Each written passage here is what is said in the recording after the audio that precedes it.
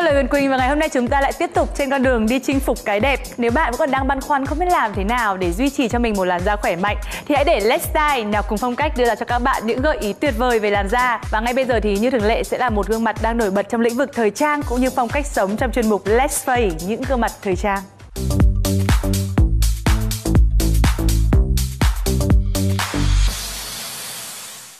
We don't talk anymore. We don't talk anymore. Talk anymore like we used to do. We don't laugh anymore. What was all of it for? Xin chào tất cả các bạn khán giả đang xem truyền hình à, Mình là Bình An à, Mọi người hay gọi mình với cái tên đó là diễn viên Bình An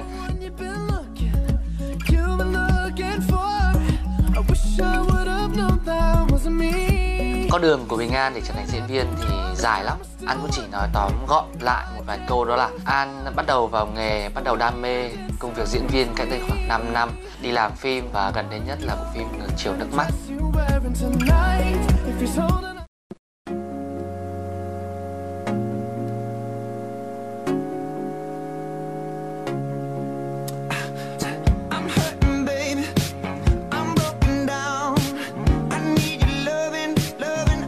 Trang là một thứ mà không thể thiếu đối với nghệ thuật à, Đối với những người nghệ sĩ. Và không biết từ khi nào mà An bắt đầu quan tâm đến phong cách ăn mặc của mình Và An chỉ thấy rằng là mình mỗi một ngày mình, mình đi làm Mỗi một ngày mình ra đường mình cần mặc đẹp hơn. An có thể chia ra thành từng cái giai đoạn. Thì trước kia khi mà là sinh viên thì thực ra An cũng không chú trọng lắm còn sau đó khi mà làm nghệ thuật rồi thì ờ, uh, An bắt đầu biết uh, chăm chút bản thân mình hơn bắt đầu biết thay đổi cách nhìn về thời trang. Phong cách ăn mặc của mình cũng đã thay đổi khá nhiều.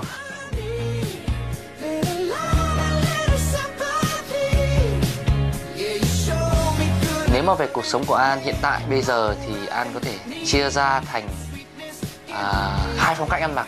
Đó là một là phong cách khi mà An không đi làm thì An sẽ chọn cho mình những bộ quần áo có thể nói là hợp mốt nhất hoặc là thoải mái nhất, thuận tiện nhất.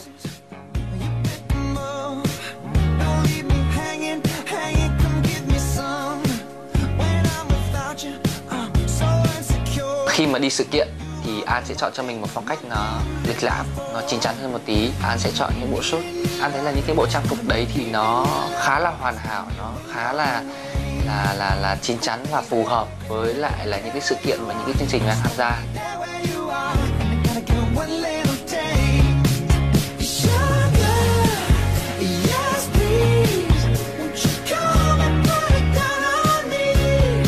Về cái mảng phụ kiện thì thực ra An cũng không phải là một cái người mà chăm chút về cái mảng phụ kiện cho lắm. Và đối với An cái điều quan trọng nhất của một người đàn ông khi mà mà, mà ra đường ấy đó là đôi giày và chiếc đồng hồ. Thì ờ, An thấy hai thứ đấy là hai thứ mà không thể nào thiếu. Những đôi giày mà An lựa chọn thì An cũng là một người mà theo trend. Tức là hot đôi nào thì mình cố gắng tiết kiệm mình mua một đôi đấy.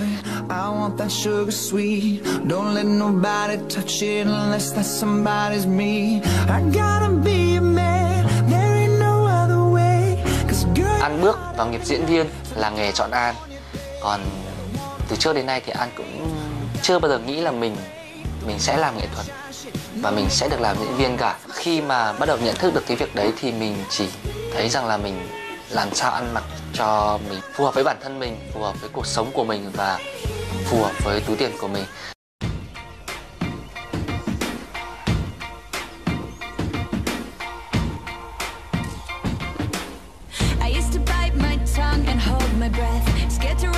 Thời trang là một khía cạnh, là một đề tài muôn thuở. Không có một cái gì nó có thể nói là một cái chung nhất được cả. Và anh thấy rằng là nếu mà muốn tạo hình một phong cách thời trang cho riêng bạn, thì mỗi người có một tính cách, mỗi người có một sở thích khác nhau, thế nên không thể áp đặt được. An cũng không thể khuyên các bạn là là là là nên mặc thế nọ hoặc là nên mặc thế kia. Và an chỉ thấy là các bạn, hãy là bản thân của các bạn. Và và các bạn có thể thử từng phong cách thời trang một. Làm sao mình cảm thấy tự tin nhất, làm sao mình có thể thấy là mình đẹp nhất. Thì đấy chính là phong cách thời trang của bạn. Và cái điều đặc biệt quan trọng hơn cả đó là khi mà các bạn mặc một bộ đồ lên, miễn là bạn thấy đẹp, thì đấy chính là phong cách thời trang của bạn.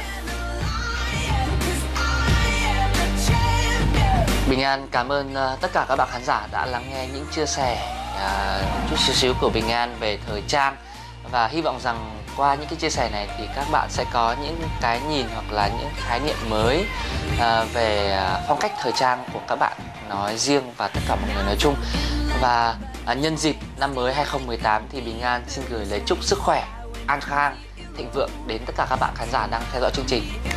Chúc mừng năm mới.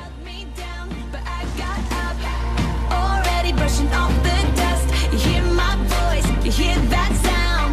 Like thunder gonna shake the ground. You help